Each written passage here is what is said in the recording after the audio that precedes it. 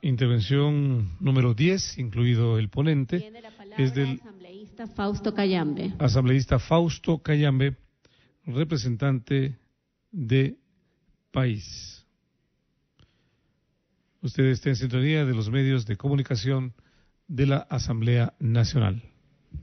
Interviene Muchas Fausto Cayambe. gracias, compañera presidenta, compañeros asambleístas, colegas, a la ciudadanía que está presente, como también a los que nos están escuchando tanto por la televisión como por la radio de la Asamblea Nacional. Yo también quiero hacer algunas observaciones sumamente importantes. Aspiro que nuestro compañero ponente pueda recoger y así responder a uno de los objetivos fundamentales del plan de desarrollo del buen vivir.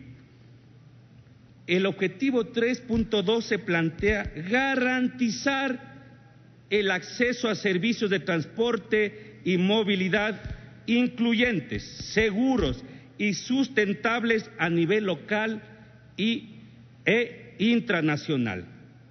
Además, plantea algunos lineamientos también claves, importantes para alcanzar este gran objetivo que nos permita a todos los ecuatorianos y ecuatorianas viajar seguros con servicios de calidad y eficiencia. Dice el literal A, incentivar el uso del transporte público masivo, seguro, digno y sustentable bajo un enfoque de derechos.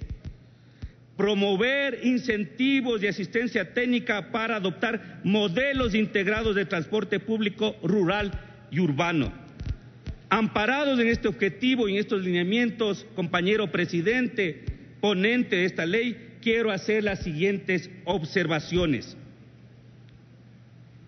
Con la finalidad de que quede claro y no se especule políticamente a lo que determina el artículo 77, compañero ponente, quiero presentarle la siguiente redacción. Artículo 77 constituye una operadora de transporte terrestre toda persona jurídica, sea cooperativa o compañía, que habiendo cumplido con todos los requisitos exigidos en esta ley, su reglamento y, de- y demás normativa aplicable, haya obtenido legalmente el título habilitante para prestar el servicio de transporte terrestre en cualquiera de sus clases y tipos.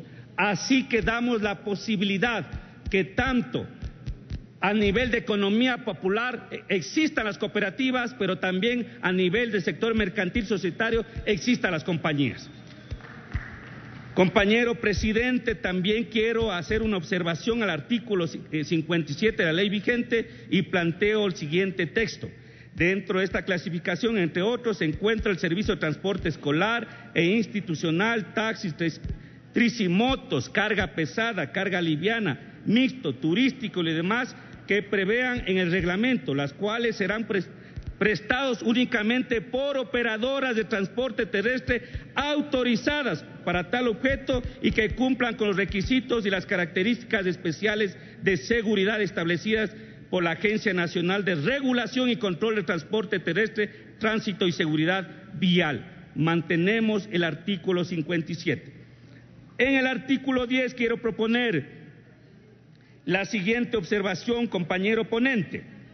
En el artículo 10 del proyecto de ley reformatoria propone agregar bajo cualquier tipo, luego de la frase, es aquel que opera en el artículo 67 de la ley vigente, sugiero se elimine esta reforma, pues el servicio de transporte público y sus tipos se encuentran definidos en el reglamento a la ley. Es necesaria la reforma propuesta considerando además que dará cabida a interpretaciones respecto a los tipos de vehículos que han sido autorizados por los organismos de tránsito competentes para este transporte de pasajeros.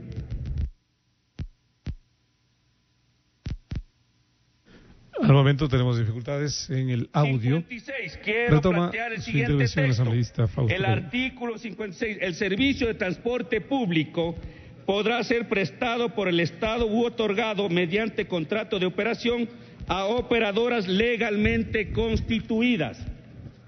Sugiero una disposición general que establezca en las disposiciones que se haga alusión a cooperativas de transporte terrestre, compañías de transporte terrestre, cooperativas y o compañías, léase, operadoras de transporte. Observación a la disposición general décima novena. Quiero plantear la siguiente redacción. De forma previa a la constitución jurídica de las operadoras de transporte terrestre sujetas a las disposiciones de la presente ley, las entidades responsables de los procesos de constitución jurídica deberán contar necesariamente con un informe favorable emitido por el organismo de tránsito competente, sin perjuicio de su constitución para prestar servicios de transporte terrestre, las operadoras deberán obtener el respectivo el respectivo título habilitante. Con la finalidad, con la finalidad de guardar relación con el nuevo texto presentado que presenté al inicio, al artículo 77 propuesto, quiero plantear la siguiente redacción a la disposición transitoria que diga lo siguiente, compañero.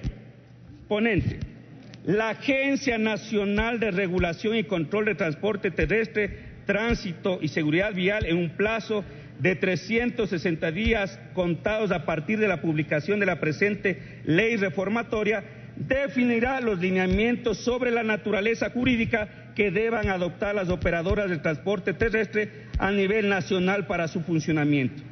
Las superintendencias de economía popular y solidaria, de compañías, valores y seguros, los gobiernos autónomos descentralizados en el ámbito de su competencia y los demás organismos de regulación y control tomarán las acciones correspondientes y dictarán la normativa necesaria para dar cumplimiento a los lineamientos emitidos por la Agencia Nacional de Regulación y Control de Transporte Terrestre, Tránsito y Seguridad Vial. Compañera presidenta, compañero ponente, compañeros asambleístas, nosotros hemos planteado hacer leyes que responda a la realidad, que responda a la mayoría del pueblo ecuatoriano. Esta reforma va en beneficio de la mayoría del pueblo ecuatoriano, pero sobre todo determina roles claros para la Agencia Nacional de Transporte, para los gobiernos autónomos descentralizados que tienen esa competencia, garantiza lo establecido en el artículo 57, pero sobre todo fortalece la economía mercantil y la economía popular y solidaria que dinamiza la economía nacional del pueblo ecuatoriano. Muchas gracias, compañera presidenta. Fue la intervención de la